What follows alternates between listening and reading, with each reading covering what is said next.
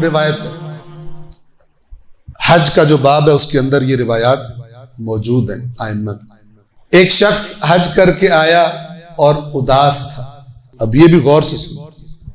और जिनको अल्लाह हज की, उम्र की, ज़्यारात की तोफीक देता है, वो इसको जहन में रखे। आपने कुछ लोग देखे होंगे, वो बड़े खिदमत गुजार होते हैं।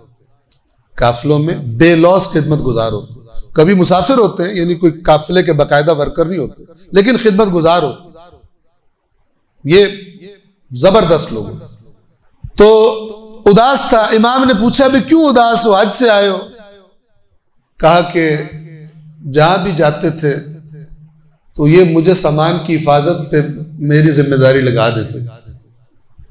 और ये इतनी देर देर तक जाकर तवाफ करते थे, इतनी देर तक जाकर दुआएँ मांगते थे मैं बाहर सामान के पास बैठा रहता था, मुझे थोड़ा टाइम मिलता इमाम ने फरमाया, तेरा अजर इन सबसे ज़्यादा। अल्लाह जाहिरी चीज़ों को नहीं देखता, अल्लाह अंदर देखता। बाज लोगों जी, जवार गए हुए हैं, हज पे गए हुए उम्र पे, बाहर बस आई है।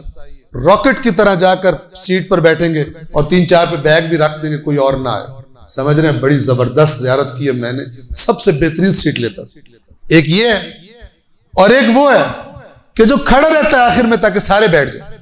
अगर किसी को खड़ा रहना पड़े तो मुझे खड़ा रहना इसकी हज है। इसका अंदर बदला है। और दूसरा, वो वैसे का वैसे, हर चीज़ में, हर मज़े में सबसे आगे जाने वाले, उस पर दीन ये है। आप अपने आयम्मा के बारे में रिवायात में पढ़ते हैं कि हमारे आयम्मा हज के लिए ऐसे काफिलों में शामिल होते थे जो उनको पहचानते नहीं थे चेहरे से। किस लिए? हाजियों की खिदमत करने के लिए। चूँकि जो पहचानते हैं वो कहा खिदमत कर रहे थे?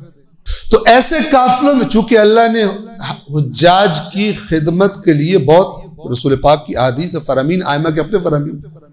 तो वो ये नहीं करते थे, दूसरों को फरामीन बता के और खुद जो है कुछ करे ही नहीं। आयमा ऐसे नहीं थे।